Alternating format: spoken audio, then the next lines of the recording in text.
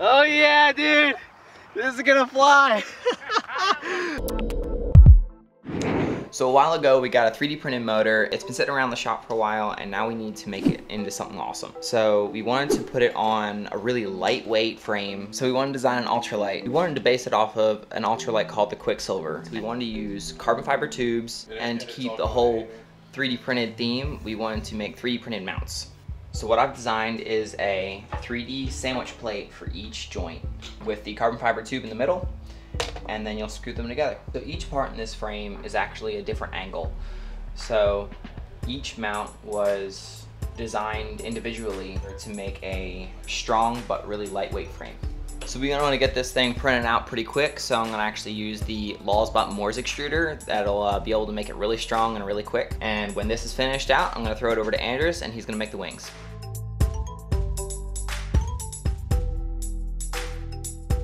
So Josh drew up some wings for this ultralight in uh, CAD.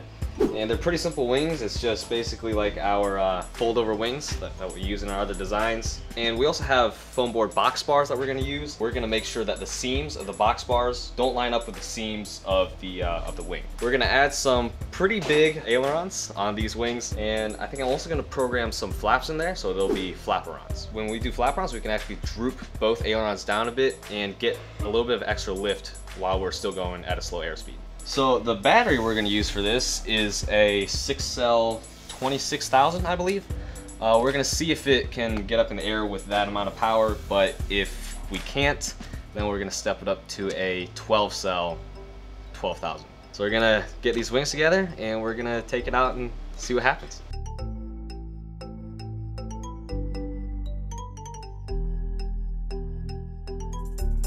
Christoph sent us this motor about a year ago. Almost exactly. Almost in June 2017. No, it's not about a year ago. It's it- it's, one full exactly a year from almost today.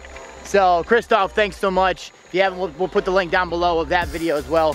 You can check that out. But we finally get to use the 3D printed motor on something way more epic than we possibly could have thought of. Dude, I think you should fly it. Let's do paper, rock, scissors to make it fair. Paper, rock, scissors. Yeah. All right. Is it rock, paper? scissors? Who calls a paper rock scissors? That's the first time I've heard paper, rock, scissors. What is it, rock, paper, scissors? Scissor, paper, rock. Let's go. Scissor, scissor, What- rock, what? papers. Ah! So, uh, One, two, three. Oh, it's your turn. I guess that's me. You Oh got it. gosh. You know, that's really good because uh, I didn't want to have to do it. Here we go. You got this, bud. Roll it, roll it. That's full throttle. I don't think it's getting yeah. off the ground. That's that's that's gonna need some more power. All right. Need some more punch. I think the, the biggest concern is not so much can the motor handle the current, it's can the motor handle the, the forces on the plastic, right? Right, right. So as it's spinning around wider and uh, faster and faster, the housing's gonna wanna blow up. And we don't want the housing to blow up. No, no blowing up housing. And we anticipated, you know, it wasn't gonna be the most powerful motor, so we thought if we built the lightest structure possible, and that's why we went to the ultralight and the carbon fiber. Super ultralight. By the way, Christoph, if we damage your motor, thank you for sending it to us. Don't give up on us. It's an awesome motor. Also, if you guys haven't yet, make sure you check out Christoph's channel. He's doing some really, really cool stuff. So we'll put a link down below. Make sure you check him out. Give him a subscribe. Tell him you came from Flite Test. All right, ready? Good luck, man.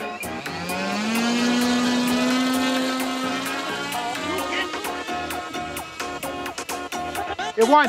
It won. Yes! Yes! Oh, oh, oh my God! Yes! Yes! How's the power? Not good. Okay. Watch out for the car. Here comes a oh, really Good. Sketchy. Oh, yeah, you're just dude, over the path right Dude, now. you're Dude, we're doing it! This lies! Oh, Look at that!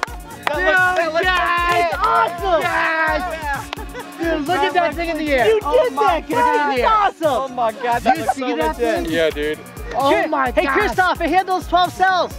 Christoph, 12 is the magic number. I'll take it at high. Oh my goodness. That, that, All it- right. third person view, So that we- looks amazing. I think we need to work on thrust angle just a little because I'm holding full up. But you know, I don't care. It don't matter, dude. All right. Bring it in low. You gonna bring her in? You want me to bring it in low?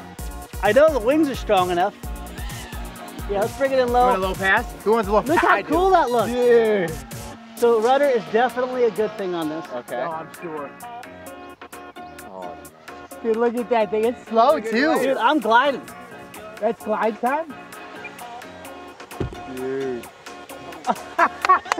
yes, dude! yes! Yes! Yes! Yes! Oh, Dude, you crushed it. Pull it back. gosh. Yes, you gotta Yes, get it. Dude, that was so Did you see epic. that? Danny flares up just. I know, he plays so well, dude. Oh, oh my gosh. Ultralights for the win. Is the motor hot at all? No, it's cool, totally cool. Feel it. Dude, Dude, no way. I honestly think without those flaps in the fronts, if you didn't hook flap-ons up, it wouldn't have gotten off the ground. Really? Yeah. So it- flap-arounds are a good thing. Flap-ons are definitely a good thing. All right, good luck. All right. Take ready? two. Here we go. take two.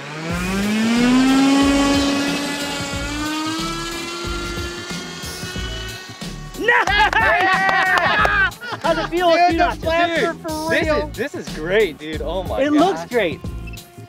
This, this is this is. Dude, It feels weird for a taking it. It's like, okay, oh, it's stable. It really does Dude, feel weird. Look at how Oh my beautiful God. that looks.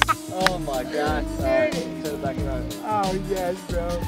Well, you know what? We can say it now. We have the STL files, the Oh details God. about everything on here. We can share it with you guys because maybe you don't want to fly off a 3D printed motor. Well, we got maybe a hundred bucks of materials besides the motor and battery in it. It's an easy plane to build, isn't it? Dude, yeah, it, especially the way Chad designed the parts, just like put it all together, it's almost like Legos or something, you know? Oh yeah, that So- glides, that glides real nice. So thrust angle. Yep, trust that. You should, dude, take it up and do a spin with it. No. Come on. Uh, I lost power. Okay. Oh, you lost power? Yeah, no power. Really? Dead stick. That's Uh, that stick landing. I don't, I don't even know what happened, dude. Maybe the Dude, you dead stick landing with no power. Just glides in. Glided If we, didn't, we wouldn't, if you didn't say it, we would never have known. We would, we'd never know. I didn't want to tell you this, but when we were over there, they said that they heard a certain pop and sizzle.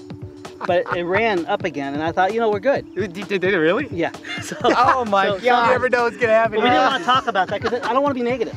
That- You like know, it, you know, But you I- crushed it, dude. I- the landing was thanks, man. Thanks, dude. man. It was, it was a little, a little bouncy, a little hard on the landing, but Christoph, God bless you, man. I know it took a year. I hope it was worth the wait. You were an amazing engineer, amazing designer, and thank you for sharing that motor with us. Yeah, and uh, sure. and sorry about the wait for that. Guys, thanks for being part of the family. We'll see you next time.